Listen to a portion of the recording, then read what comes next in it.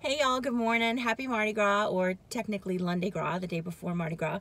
Um, I I figured I would dress up today, not so much because I'm a huge fan of Mardi Gras, but because I'm a huge fan of lighty uppy things and dressing up. So um, I wanted to just quickly do my weekly goals for today. I did a really long video, my 60 day update, but I had so much to say. I had so many good things to share. So if you haven't seen that yet, check that out. It's the previous video.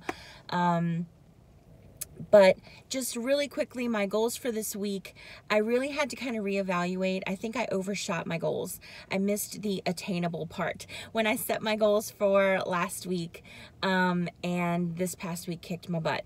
So I'm kind of falling back, regrouping, and trying to do something a little bit more attainable, especially because this week is kind of a weird week with having Tuesday off of work and, um, I'm not going to be out like parading and partying and all that kind of stuff, but it's just, and it throws the week, you know, the, the routine of the week isn't going to be the same as normal. So I wanted to take that into account. So my goals, okay.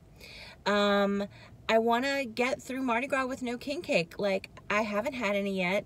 I really haven't missed it. And I figure I can I can go through one Mardi Gras season with no king cake. I really only have to get through tomorrow. So I think I'll be good on that one. Um, I want to do two a days instead of five days this week. I want to do try to do three days this week. Um, and then I want to, by the end of the week, I want to have one workout where I was totally on the mat. I didn't I didn't modify or crap out or anything like that um, for one entire workout. That's my goal.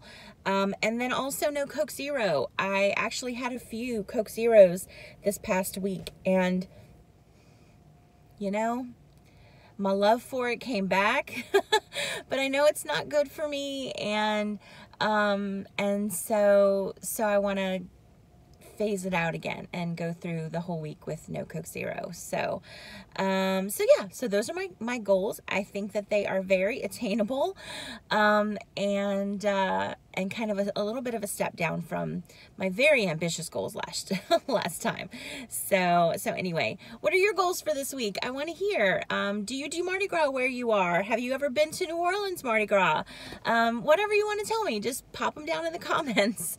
I would love to hear from you. Um, I guess that's it. Thank y'all for uh, for listening as always, and I hope y'all have an awesome week.